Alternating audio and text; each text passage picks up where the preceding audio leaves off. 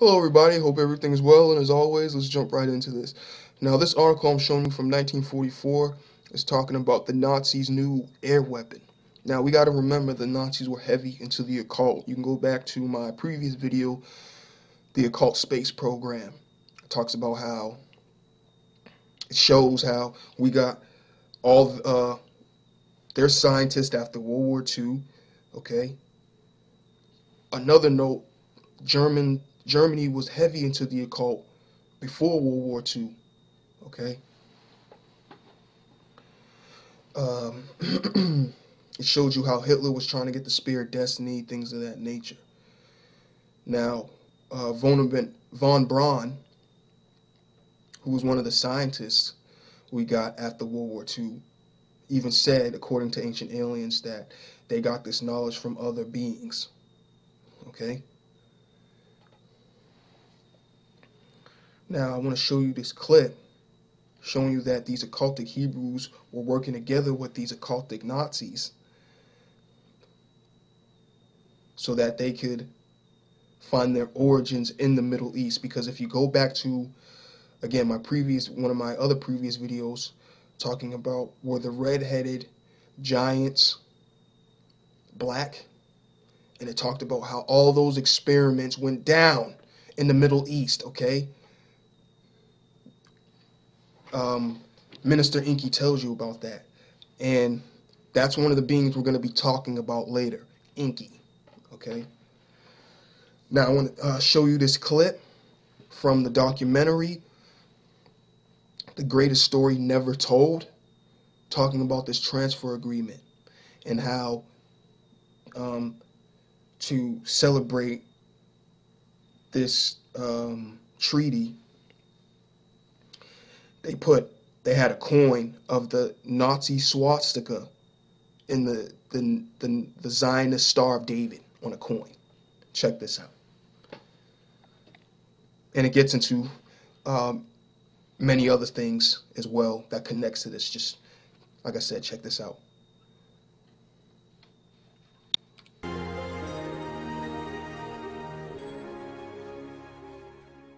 Secret negotiation between the Nazis and the Zionists in 1933, which allowed German Jews and their assets to go to Palestine.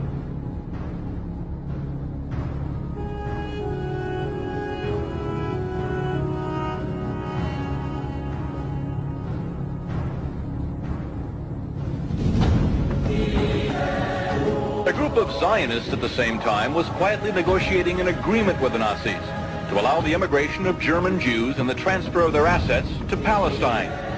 That deal, reported in August 1933, was the transfer agreement. Palestine, sparsely settled by Jews at the time, was radically changed as a result. I lived in Palestine from 1933 to 1936, and uh, we saw every week transports of German Jews coming to settle in Palestine. German Jewish settlement of Palestine was, for a time, official Nazi policy.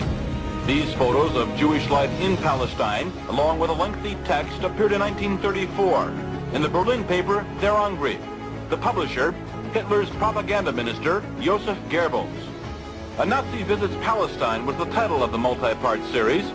A medal was struck by Goebbels in commemoration. On one side, the swastika. On the other, the Star of David. Hitler demanded one concession for the transfer agreement, that the call for a boycott of the Reich, raised by Jews here and elsewhere, be rejected by the Zionists. The Zionists made that concession.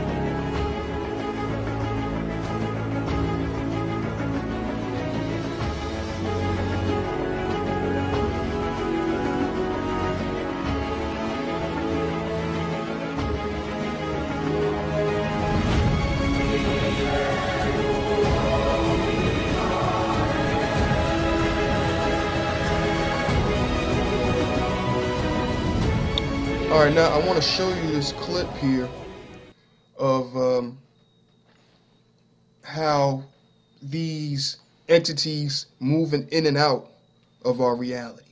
All right, this um, video right here by Gaia goes more in depth to that. Just um, uh, listen real closely. To UFOs and Bigfoot, tales of the unexplained have been a part of humanity's story since the beginning. Ancient alien theorists will look at the Bible and chalk up every bizarre event to aliens, while a religious scholar may look at contemporary alien encounters as manifestations of demons. Bigfoot and other cryptids have a strange habit of showing up near UFO sightings, and those who encounter either of these phenomena often discover newfound psychic abilities. Could there be a common cause that explains all paranormal events? One of the most famous sustained paranormal experiences is the Mothman incident of 1966. For 13 months, Point Pleasant, West Virginia was plagued with sightings of a bizarre winged humanoid, accompanied by mysterious lights in the sky, animal mutilations, and other accounts of paranormal activity.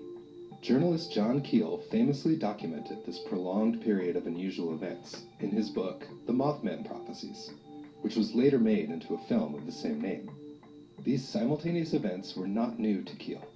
He often wrote of window areas, specific locations on our planet where paranormal events were far more likely and even expected to occur. For experiencers and believers of the paranormal, the greatest frustration often lies in the lack of abundant physical evidence. A few landing marks here, a bit of fur there, and even the occasional photograph don't seem to be enough to convince the skeptics. After decades of researching such cases, Keel developed an elegant hypothesis which explains the troublesome disparity between excessive testimony and scarce physical evidence. His book, The Eighth Tower, written at the same time as the Mothman prophecies, proposes a sort of unified theory to explain all paranormal events.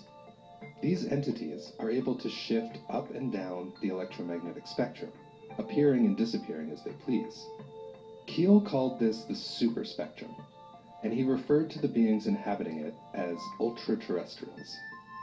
This could explain the variety of electromagnetic effects often Get it now? Not extraterrestrials, but ultra-terrestrials. One who can. sorry, I gotta grab some water. I apologize for that. But um,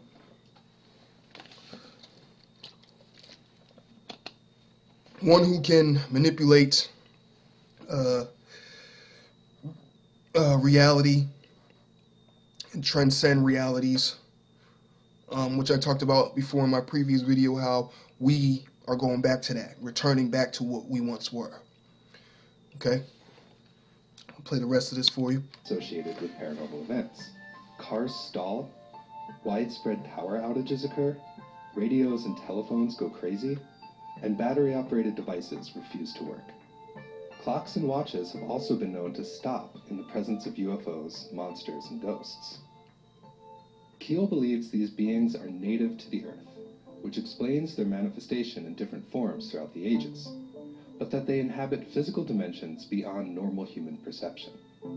This theory fits with scientific understandings of how our brains perceive the world around us. It is well known that our senses are only equipped to pick up a very small slice of physical activity. Dogs, cats, and other animals are able to hear audio frequencies we cannot. Is it simply coincidence that they seem to have a sixth sense for the paranormal? Pet psychologist Marty Miller has said, Sensing the supernatural is natural for dogs because they don't judge it. People could see auras or spirits, but they either don't believe they exist or think that if they do exist, we could not see them. Furthermore, our sensory organs are constantly capturing far more information than our brains can process. One of the most critical functions of the brain's sensory response is filtering out information that it deems unnecessary. Pattern recognition plays a large role in this process. When you see something that looks like a tree, your brain acknowledges the general shape of a tree and quickly creates the idea of a tree. But what happens when you observe something that fits no recognized pattern?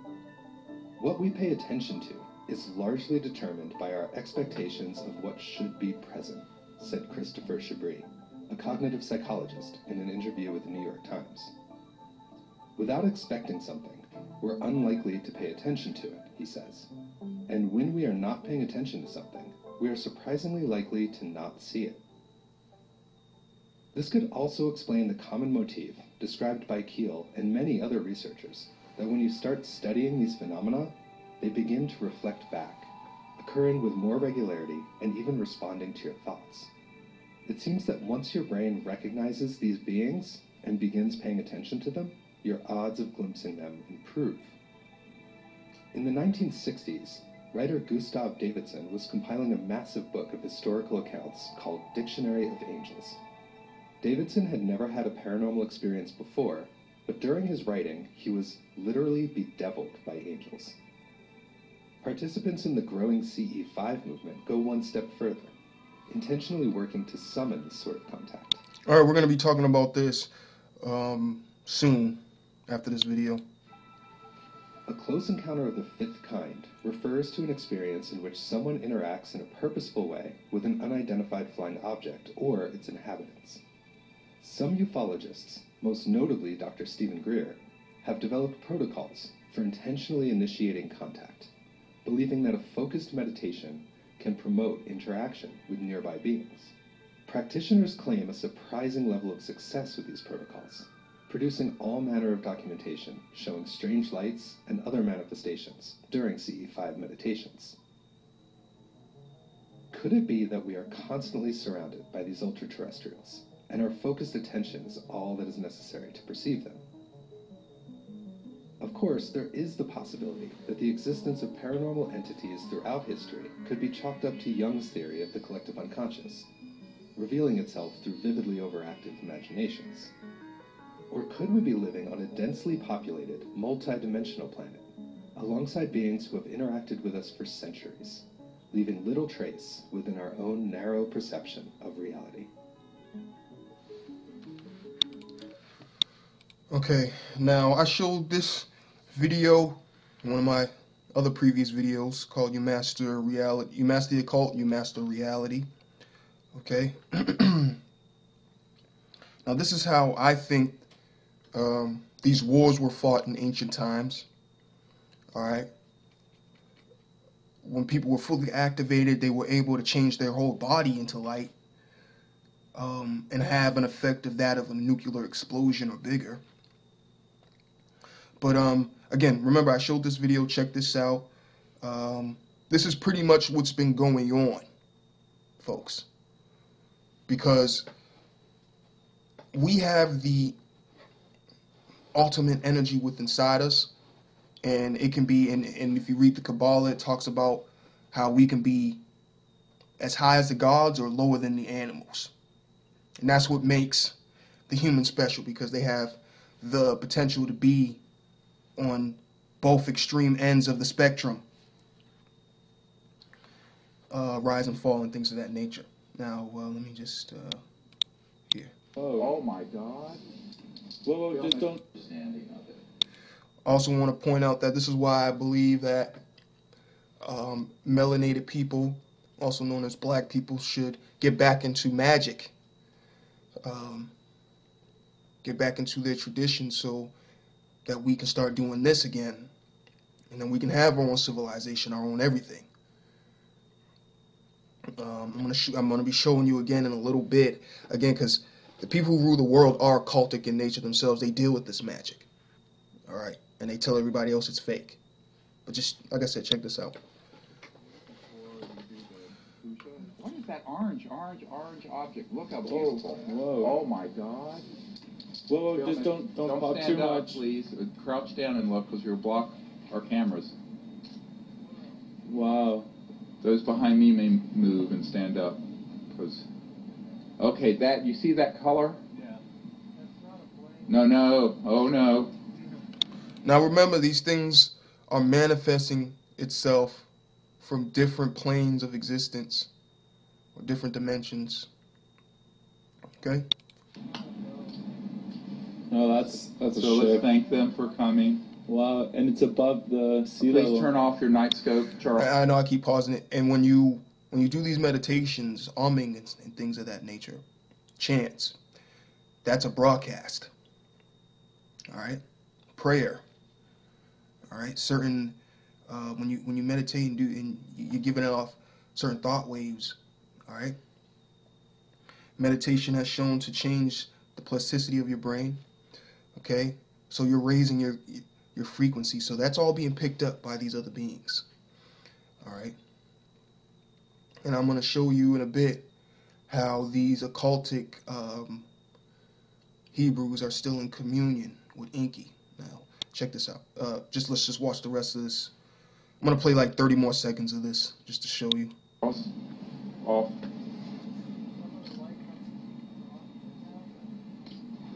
Someone's infrared or whatever. Yeah, that's Charles.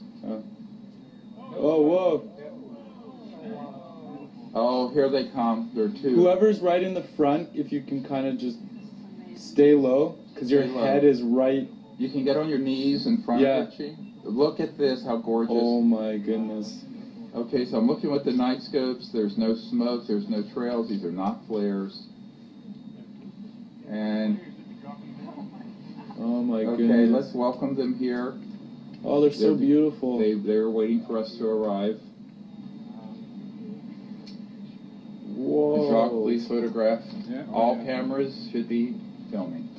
So connect to them in your consciousness and invite them here. These are the golden ones I talked about. See how gold? Yeah. Park, because the horizon is only seven to ten miles, depending on the conditions. So it's probably a couple miles. Everybody see them? Did you hear him say the golden ones? Who do you think that's who you think that's linking to? I'll leave that for y'all to decide. All right, now this next video where they want to build the third temple. All right, this was seen over the dome of the rock. All right, which is a very special place spiritually for Muslims and Hebrews. All right? Or the fake Hebrews, I should say. All right, but check this out. Uh, for those who think they're still not in communion. All right?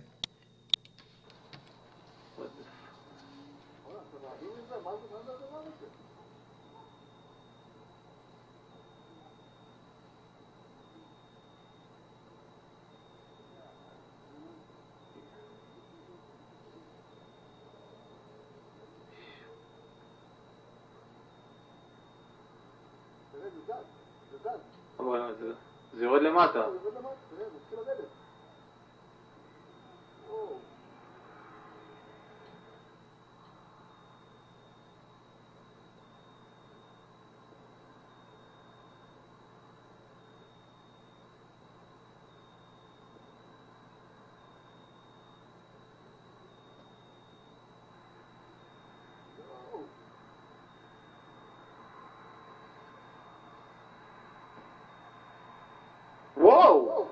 יואו.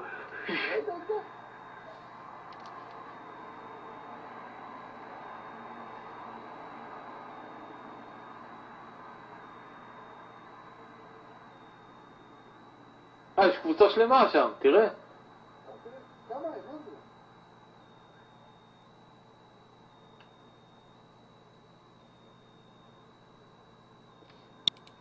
Okay.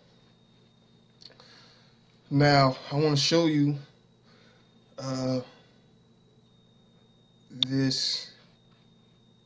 I wanted to show you this clip from the fourth kind, but it wasn't available. So I'm going to read this uh, line from the movie, and then I'm going to show you this other clip showing you the possession.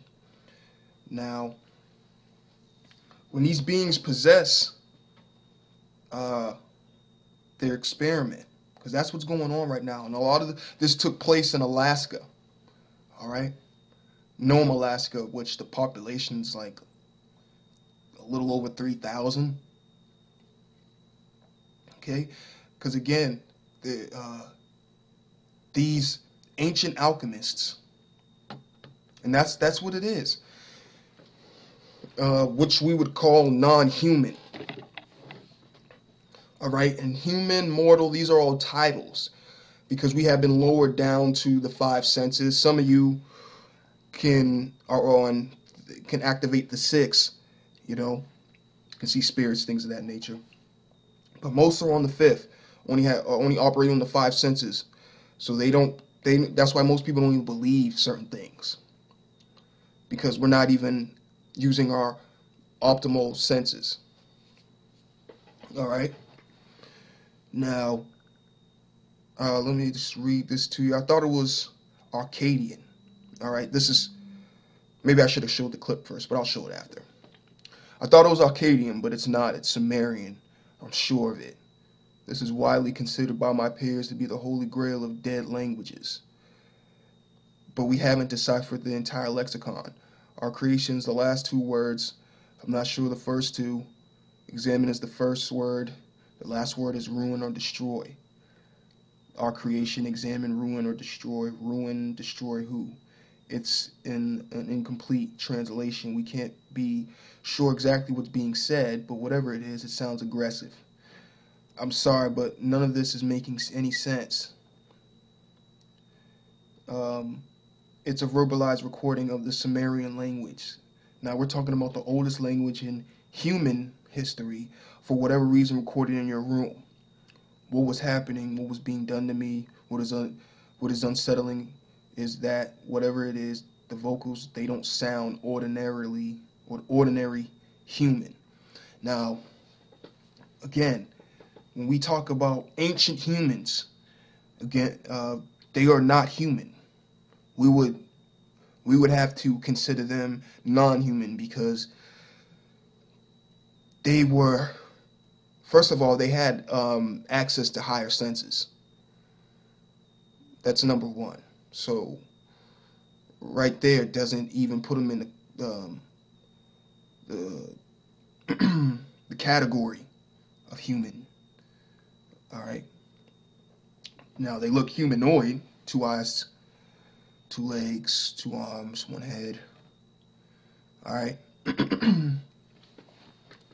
but these beings are different from us because they're on a higher level. Once we reach that level, then we ourselves will become non-human. I talked about this in my previous video, how um, humans uh, come from a non-human origin.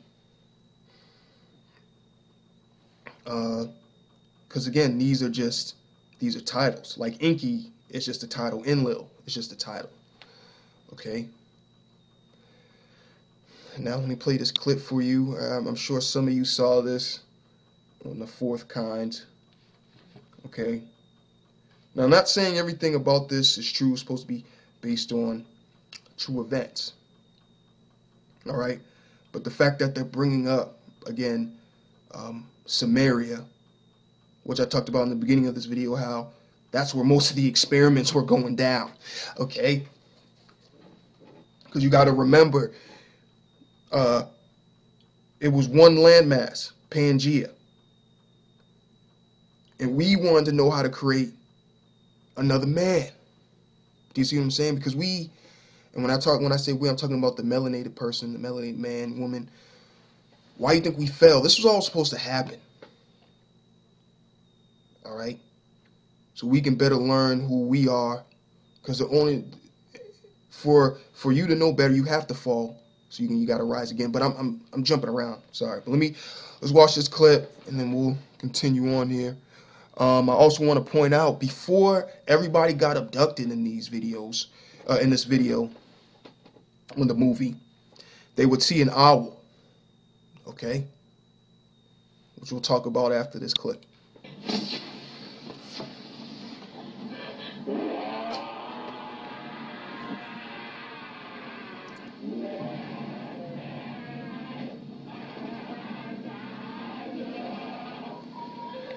Now remember when they when they're getting possessed, these beings are on another dimension. All right, another frequency. They can be right in the room next to you. Do you see what I'm saying? But they're on a whole nother, like I said, frequency. They're they're they're moving at a higher vibratory rate. Okay. Um, we also talk about how there was there's crystals in our brain, all right, in the pineal gland. All right. They pretty much are putting their light within that. And I know this sounds confusing, but that's how possession happens. Okay? It's it's it's pretty much control of your pineal gland because that's where your soul sits. All right. Let me continue this.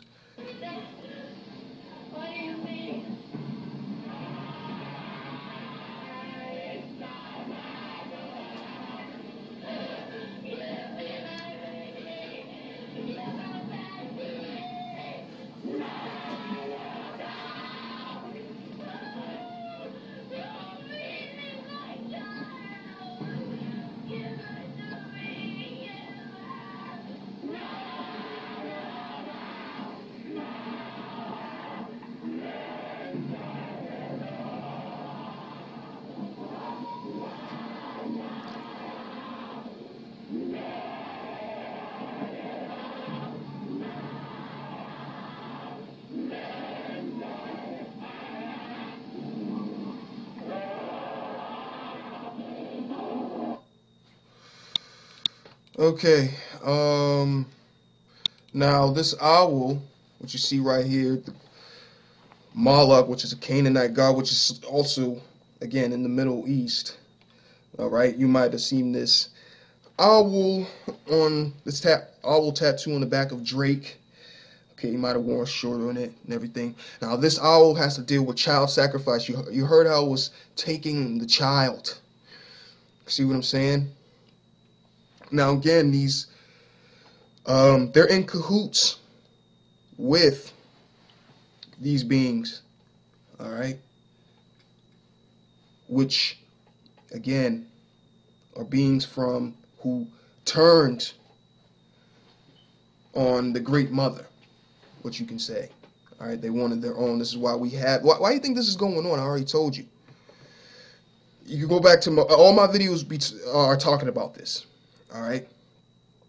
Um, white people biological experiment, things of that nature. Why you think they're running things? These, um, the synagogue of Satan's running things. Do you see what I'm saying? Now, I already showed you the transfer agreement, why they wanted to go to the Middle East. Okay. Um, uh, the, the Brits even gave them land that they owned in India. You can look up the letter of 1917 to Lord Rothschild. I'll put that in the description below, actually. I'm sorry we couldn't get into it in this video. Now, like I said, this owl, um, the Bohemian Grove doing child sacrifice, okay? Most of your celebrities, politicians, okay? Because Freemasonry and uh, Freemasonry is ran by Kabbalistic Hebrews, which is an occultic uh, society. Again, the Cab and the Kabbalah really is just dealing with activating higher uh, processes of the mind. We, again, certain breathing exercises so that you can activate your own spiritual power, so that you don't fall under control of these symbols that are around us in our society every day. Now, uh, this is the location of ancient Sumer. I'm just trying to show those who don't know. Uh, which is right next to Egypt, okay, Mediterranean Sea. Let me show you where Canaanite or Canaan was located. All right. A prosperous and ancient country, at times independent as others, um, a tributary to um, Egypt, located in Levant region of present-day Lebanon, Syria, Jordan, and Israel. Now, what have you been hearing on the news for the last three, four years? Do you see what I'm saying? Um, you can go back to my previous video talking about uh, the 2000 plan to secure the realm. All right? I talk about that. Now, let me show you our modern day map here. This is where it's at right here. Now, you see, this is where Samaria is located. Okay? Ancient Canaanite was located around this area. Why do you think they're trying to take that over now? You, I'm trying to tell y'all folks here, nothing's by accident. Okay? They're on a manifest of destiny, first of all. Take over their world, take over the world, or the plane, the side of the plane, because they feel like it's theirs. And they've been promised by this ancient geneticist or alchemist, okay, which some would call Yakub, all right? Um, like I said, um, I said Enki, these are all titles um, who are showing them this, who are still in communion, okay? Thank you for listening and peace and